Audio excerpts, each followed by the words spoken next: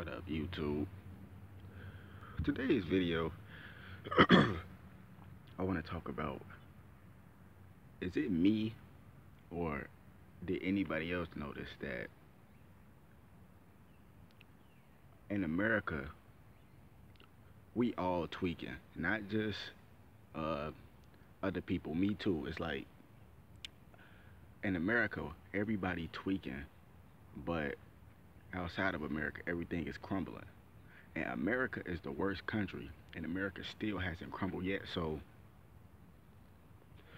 when it finally hits home, the shit is gonna be horrible. A lot of people think that's a game. A lot of people, America ain't gonna fall.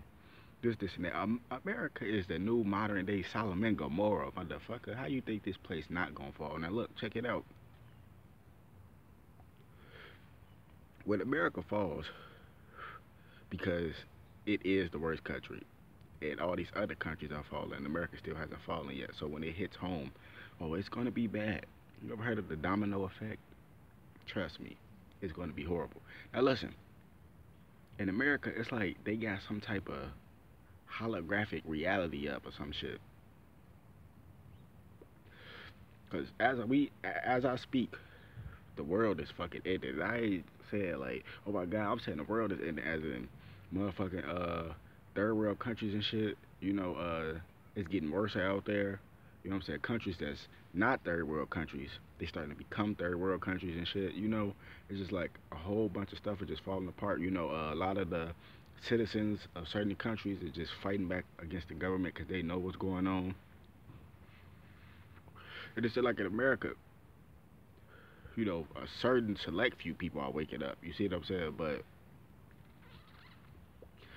a lot of us in America is just tweaking. It's like we want to wake up, but we can't. It's like they got some type of spell or something over our head. Like we see what's going on, but every time we see it's like boop, we get like sucked right back into the holographic reality. You know what I'm saying? What the fuck? Uh, that's the fucked up part. Because a lot of people just think it's a game. Like, we worry about the wrong shit in America right now. Like, real talk, we worry about the wrong shit. And a lot of people think focusing on the election is focusing on the right stuff, but it's not because it's way deeper than the election. I keep trying to tell everybody this is a spiritual war that's going on. Donald Trump, Hillary Clinton, they're part of the spiritual war, but they are Satan's side. So that's what people get the shit confused at. Like you gotta know like what's going on. It's a way bigger picture than you could ever, ever picture. Like it's way deeper than you ever would think. Yeah.